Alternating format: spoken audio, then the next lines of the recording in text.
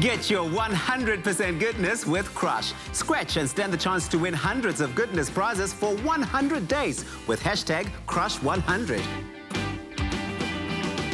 Made with love by Clover.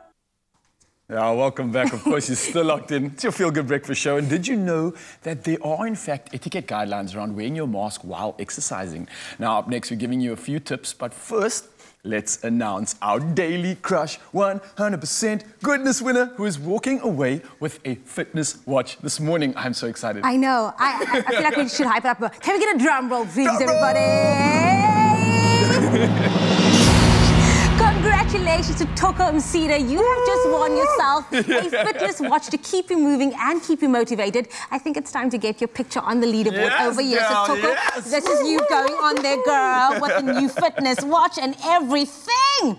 Coming to I mean, you already don't even need like you need the fitness uh, watch because your your waist is snatched over there. But congratulations to you.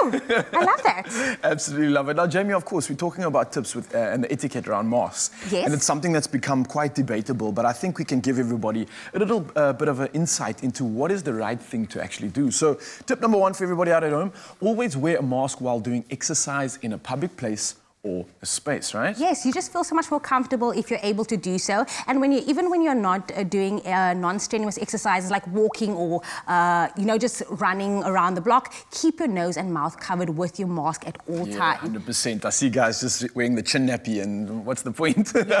right, so when you do do exercise, strenuous exercise like running, etc., you can lower your mask, but it's safe and responsible practice to pull it back up and cover your mouth and nose when somebody approaches um, where after you lower it again, and then you can pass. So literally, while you're running, you see someone coming through, protect yourself and them, and then you can lower your mask afterwards. Absolutely, 100% I agree with you. And remember, when you do wear a mask, it protects yourself.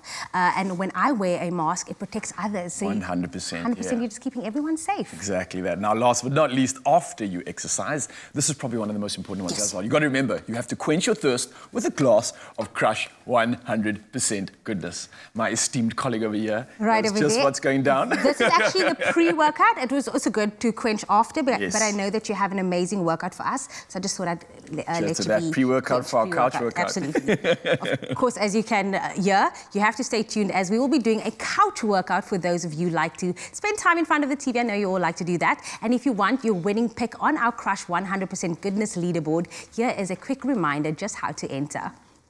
Are you ready to stand a chance to win 100% goodness prizes with Krush, such as Nutri Bullets, Veggie Bullets, Tefal kitchen appliances, bar fridges, skincare products, fitness products, and vouchers? 100% you are. 100% goodness winners will be announced daily on Expresso from Monday to Friday from September through December. To enter, buy Crush promo packs. See the back of the label to scratch, and if you find a unique code, dial the USSD number on the pack to stand a chance to win immediate prizes or go into the grand prize draw.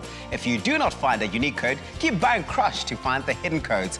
Krush is 100% fruity, fresh, tasty, and refreshing. Made with love by Clover.